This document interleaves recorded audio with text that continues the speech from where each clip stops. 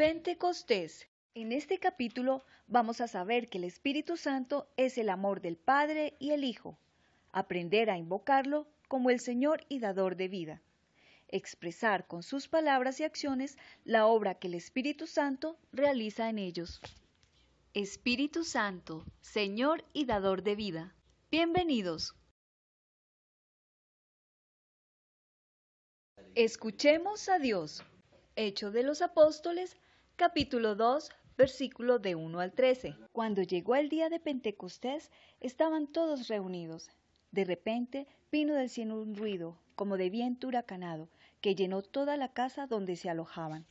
Aparecieron lenguas como de fuego, que descendieron por separado sobre cada uno de ellos. Se llenaron todos del Espíritu Santo y empezaron a hablar en lenguas extranjeras según el Espíritu les permitía expresarse. Residían entonces en Jerusalén judíos piadosos, venidos de todos los países del mundo. Al oírse el ruido, se reunió una multitud, y estaban asombrados porque cada uno oía a los apóstoles hablando en su propio idioma. Fuera de sí por el asombro, comentaban, ¿acaso los que hablan no son galileos? ¿Cómo es que cada uno los oímos en nuestra lengua nativa? Partos, medos y elemitas, habitantes de Mesopotamia, Judea, Capadocia, Ponto y Asia, Frigia y Panfilia, Egipto y los distritos de Libia junto a Sirene, romanos residentes, judíos y prosélitos, cretenses y árabes, todos los oímos contar en nuestras lenguas las maravillas de Dios. Fuera de sí y perplejos comentaban, ¿Qué significa esto? Otros se burlaban diciendo, han tomado demasiado vino. Palabra de Dios. Gloria a ti, Señor Jesús. Después de la muerte de Jesús, los apóstoles sintieron mucho miedo de arriesgar su vida, pues estaban seguros de que terminarían como su maestro.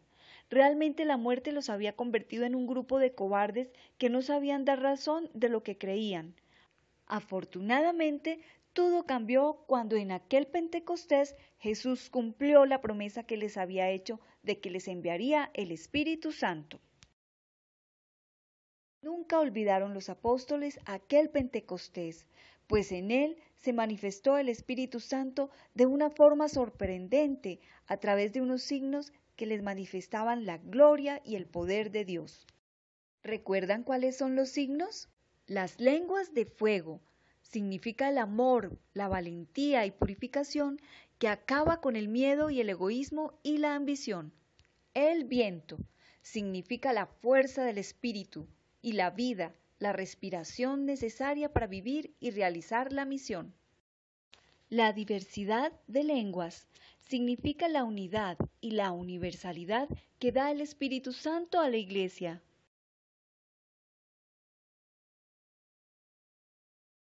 Jesús muchas veces habló de él. ¿De quién? Del Espíritu Santo. Lo presentó como el Espíritu de la verdad, el consolador, el defensor. Es la fuerza de Dios. Es Dios mismo. Es la tercera persona de la Santísima Trinidad. Nos empuja a luchar contra el egoísmo y la desunión. Por Él podemos perdonar, amar y servir. El Espíritu Santo es una prueba de amor y comunión. Jesús lo prometió. Es la iluminación del Espíritu Santo que hace posible proclamar a Jesús a todas partes sin miedo. Para poder realizar nuestro compromiso con Jesús, en la comunidad y en la iglesia, el Espíritu Santo nos da unas cualidades especiales, unos dones o regalos. Esos dones o regalos son temor de Dios. Este don nos mantiene en el debido respeto frente a Dios y en la sumisión a su voluntad, apartándonos de todo lo que pueda desagradarle. Sabiduría es el don de entender lo que favorece y lo que perjudica el proyecto de Dios. La sabiduría nos fortalece nuestra caridad y nos prepara para una visión plena de Dios.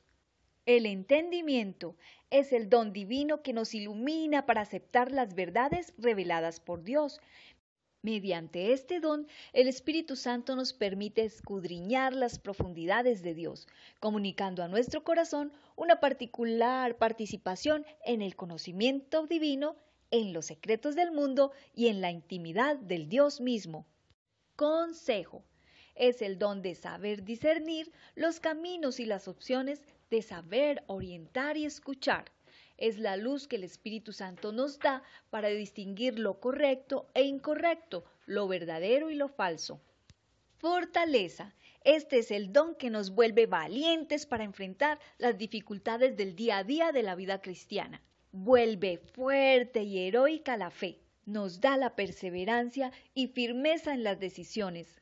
Los que tienen este don no se amedrentan ni se asustan frente a las amenazas o persecuciones, pues confían incondicionalmente en el Padre. Jesús tuvo mucho cuidado en siempre hacer toda la voluntad del Padre. Ciencia es el don de la ciencia de Dios y no la ciencia del mundo, por este don el Espíritu Santo nos revela interiormente el pensamiento de Dios sobre nosotros, pues nadie conoce lo íntimo de Dios sino el Espíritu de Dios. Piedad es el don que el Espíritu Santo nos da para estar siempre abiertos a la voluntad de Dios, buscando siempre actuar como Jesús actuaría. Después de recibir los siete dones del Espíritu Santo en el bautismo, el cristiano como árboles damos fruto. Cuando el fruto está maduro es dulce y bueno a la vista. Los doce frutos del Espíritu Santo. Amor o caridad. Quien da ese fruto hace ver a Cristo en su vida. Es quien permite actuar a Cristo en su vida. Si falta el amor, no puede encontrarse ninguna acción sobrenatural, ningún mérito para la vida eterna, ninguna verdadera y completa felicidad. Alegría o gozo. Es el fruto que emana naturalmente del amor. Es como la luz del sol o el perfume de la flor o el calor del fuego. Esta alegría no se apaga en medio de los problemas. Todo lo contrario, crece y se robustece en medio de ellos, pues se hace más necesaria que nunca. Cuando se está en comunión con Dios, el Dios del amor, la persona es feliz y busca también hacer felices a los demás. Es una alegría que supera todo goce fundado en la carne o en las cosas materiales. La paz es la perfección de la alegría, porque supone el goce de lo amado. Y lo amado por excelencia no puede ser otro sino Dios, y de ahí la seguridad de la paz que brota de tener a Dios en el corazón. La paz nos hace ser personas serenas y mantiene al alma en posesión de una constante alegría a pesar de todo. Paciencia. Quien da ese fruto supera todas las turbaciones que implica la lucha permanente contra los enemigos del alma y sus fuerzas invisibles y visibles también facilita un encuentro armonioso con las criaturas con las que nos relacionamos. La paciencia nos hace ser cristianos que se saben controlar e impide que seamos resentidos o vengativos. Este fruto ayuda a superar la tristeza e impide que nos quejemos ante los problemas y los sufrimientos de la vida. Longaminidad es el mismo coraje o el ánimo en las dificultades que se oponen al bien. Es un ánimo sobrenatural para concebir y ejecutar las obras de la verdad. Bondad es la fuerza que nos ayuda a ocuparnos del prójimo y beneficiarlo. Quien da ese fruto no critica malsanamente y tampoco condena a los demás. Es más, ayuda a sanar a ejemplo de Jesucristo, la bondad infinita. La castidad es la victoria conseguida sobre la carne y ayuda a que el cristiano sea más un templo vivo del Espíritu Santo. Quien da ese fruto es cuidadoso y delicado en todo lo que se refiere al uso de su sexualidad. Quien es casto, ya sea virgen o casado, experimenta la alegría de la íntima amistad de Dios. Felices los limpios de corazón, porque verán a Dios. Continencia como indica su nombre, ayuda a contener o a tener a raya la concupiscencia en lo que concierne al comer, al beber, al divertirse y en otros placeres de la vida terrenal. La santificación de estos instintos es ordenada por la continencia como consecuencia de la dignidad de los hijos de Dios que tenemos. La continencia mantiene el orden en el interior del hombre. Modestia. Quien da este fruto excluye todo lo que sea áspero y mal educado. Este fruto se le nota al cristiano en el vestir, en el hablar, en su comportamiento, etc. Ayuda para que nuestros sentidos no se fijen en cosas indecorosas y vulgares. Ayuda a ser discreto y cuidadoso con el cuerpo, evitando ser ocasión de pecado para los demás así como también a preparar y mantener nuestro cuerpo para ser en medio de nuestra debilidad digna morada de Dios. Fidelidad. Quien da este fruto defiende la fe en público y no la oculta por miedo o vergüenza. La fidelidad es cierta facilidad para aceptar todo lo que hay que creer. Es firmeza para afianzarnos en ello y tener la seguridad de la verdad que creemos sin sentir dudas. Al dar este fruto estamos glorificando a Dios, quien es la verdad absoluta. Mansedumbre ayuda a evitar la cólera y las reacciones violentas. Se opone a la ira y al rencor. Evita que el cristiano caiga en sentimientos de venganza. La mansedumbre hace al cristiano suave en sus palabras y en el trato frente a la prepotencia de alguien. Es el fruto que nos asemeja a Jesús, manso y humilde de corazón. La benignidad es un fruto que nos ayuda a ser gentiles y ayuda a defender la verdad sabiendo discutir. Da una dulzura especial en el trato con los demás.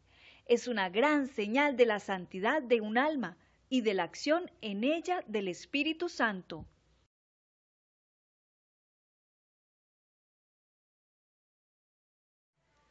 Los dones producen frutos, con los cuales el hombre y la mujer comprenden el gran amor al Padre que los impulsa a construir una nueva sociedad basada en la verdad, la unidad y la esperanza. Muchas gracias por su atención y nos vemos en el próximo video.